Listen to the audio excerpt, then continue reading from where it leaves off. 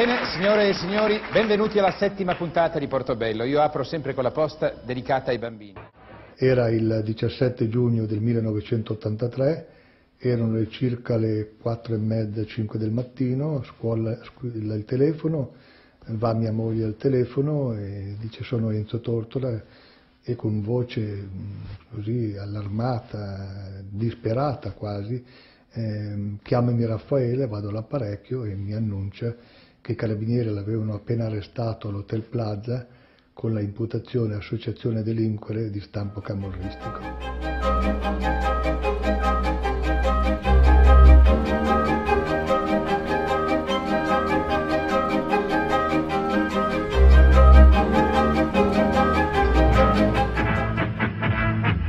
Molte persone sono già state arrestate nelle ultime ore, soprattutto eh, durante la notte. Il nome più noto tra gli arrestati è senz'altro quello di Enzo Torto. Quella persona improvvisamente diventava spacciatore, cocainomane, camorrista.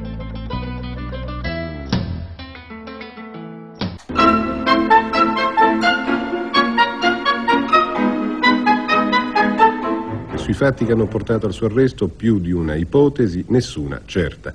Una vuole che sia rimasto coinvolto per uno sgarro di 40 milioni ai trafficanti di droga, l'altra che sia stato coinvolto nell'organizzazione camorristica da Francis Turatello, del quale sarebbe stato amico. Noi abbiamo registrato la puntata, poi ci siamo salutati, ho saputo che nella notte, l'ho saputo la mattina successiva, era stato proprio arrestato. Avevamo l'appuntamento con Enzo per fare il contratto per l'edizione successiva del Portobello, l'edizione 84-85. Avevamo l'appuntamento proprio quella mattina e lo aspettavamo, lui era al Plaza. Beh, lì ho appreso la notizia del suo arresto.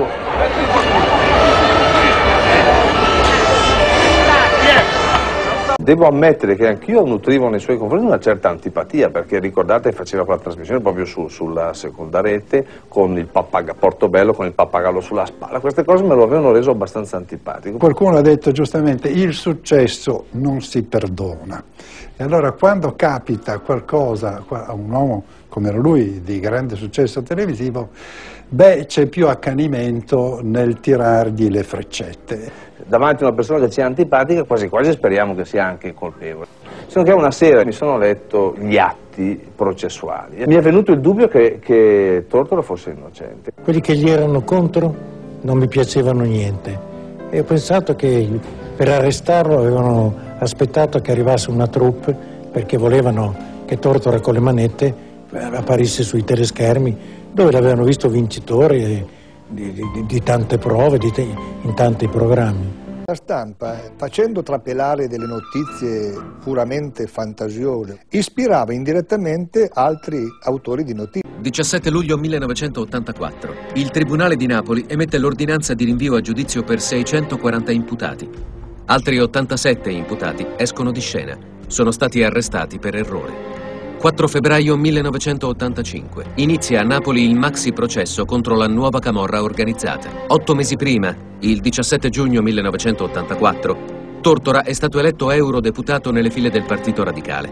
Per questo motivo può seguire il processo da uomo libero. Giulio Andreotti, allora, aveva una rubrica sull'europeo che si chiamava Block Notice e scrisse una cosa odiosissima. Scrisse alcuni detenuti evadono con la lima e altri con la scheda elettorale. Il maxi processo durerà sette mesi, con 67 udienze e una settimana di Camera di Consiglio. Tortora, nel frattempo, continua la sua attività di eurodeputato a Strasburgo. Il signor Enzo Tortora è un presunto appartenente alla organizzazione Nuova Camorra Organizzata. Per mesi e mesi ho sopportato con una pazienza d'asino, non da santi, tutte le sue messiscene. Non c'è nulla in contrario. Io sono anche propenso, se lo permette la Corte, a farmi sottoporre alla macchina della verità. Quello che ho visto lo confermo. Di aver visto Tortoro spacciare la droga.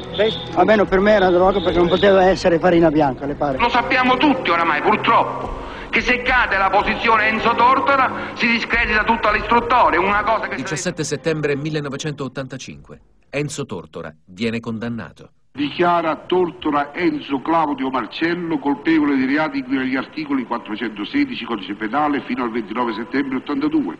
Tortora Enzo, Clau- Enzo Claudio Marcello alla pena di anni 10 reclusione e 50 milioni di multa.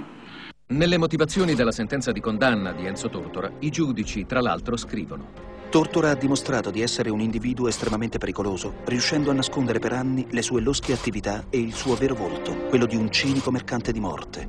Tanto più pernicioso perché coperto da una maschera tutta cortesia e savoir-faire. L'appartenenza di Tortora alla nuova camorra organizzata è stata provata attraverso le dichiarazioni di Giovanni Pandico, Pasquale Barra e altri. Tutte queste accuse hanno trovato adeguati e convincenti obiettivi di riscontro. Nei confronti di Tortora non è stato posto in essere nessun complotto, nessuna macchinazione, nessuna vendetta personale e non si è voluto coprire nessun omonimo.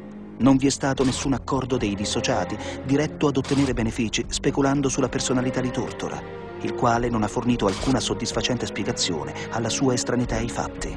Non c'era un minimo di riscontro oggettivo. Non si era fatto un pedinamento, non si era fatto un accertamento bancario, si era fatto una perquisizione domiciliare non si era trovato nulla. Guardatemi, controllatemi, esaminatemi. Si può sapere entro tre o quattro mesi se uno è tossicodipendente. Prendetemi un cappello e vedete. Niente, non un riscontro. 10 dicembre 1985. Enzo Tortora si dimette da parlamentare europeo. Oggi, 10 dicembre, dunque, io scelgo la via del carcere. E quali carceri in Italia, sapeste, colleghi? Mentre avrei potuto tranquillo continuare a coltivare l'onore di essere e operare per altri anni con voi, in attesa che giustizia fosse fatta di un'accusa che l'intero popolo italiano sente essere mostruosa. 29 dicembre 1985. Milano. Enzo Tortora si consegna alle forze dell'ordine in piazza Duomo, davanti a migliaia di persone.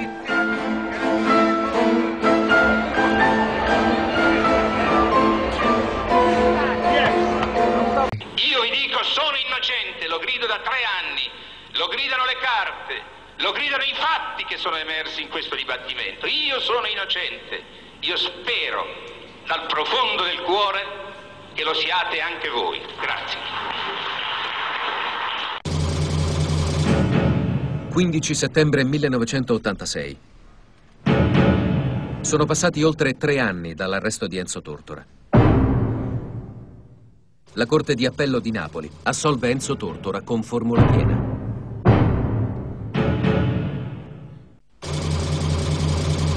La sentenza di assoluzione, di cui è il giudice all'atere Michele Morello a scrivere i motivi, sarà confermata dalla Cassazione il 17 giugno 1987. Dall'arresto di Enzo Tortora sono passati esattamente quattro anni.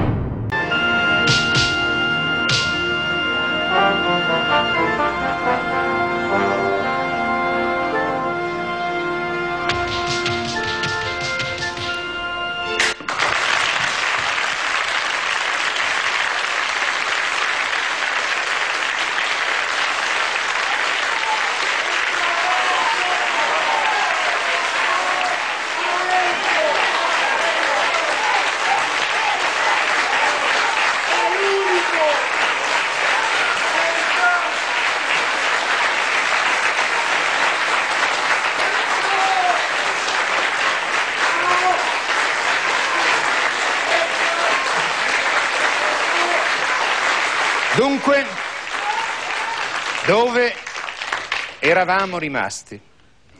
Lo vidi esattamente come lo videro altri milioni di italiani, provai naturalmente un'emozione che non è facilmente descrivibile. Era bellissimo questo ritorno in televisione, però si vedeva uno sguardo diverso, si vedeva un uomo segnato, un uomo diverso e, e da lì cominciò diciamo, l'ultimo anno di vita di papà.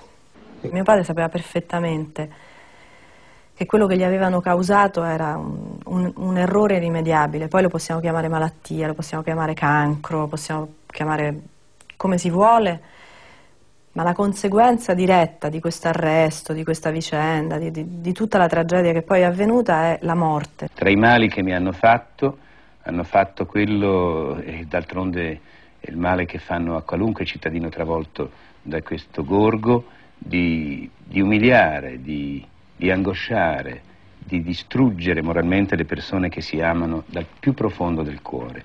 Io ho avuto la fortuna di avere un appoggio totale dai miei cari e forse non si pensa abbastanza, arrestando un uomo, a quello che di dolore si semina attorno a lui. Io non chiedo vendetta e non chiederò mai vendetta, ma chiedo semplicemente che la gente capisca il male che si fa. È quella che io definisco, se le cose continuano in questo modo, la cultura del disprezzo, disprezzo dell'uomo, disprezzo dei valori che nascono intorno all'uomo, che devono nascere, che devono continuare a vivere. Enzo Tortora è morto stamani nella sua abitazione di via Piatti a Milano. Erano accanto a lui la figlia Silvia e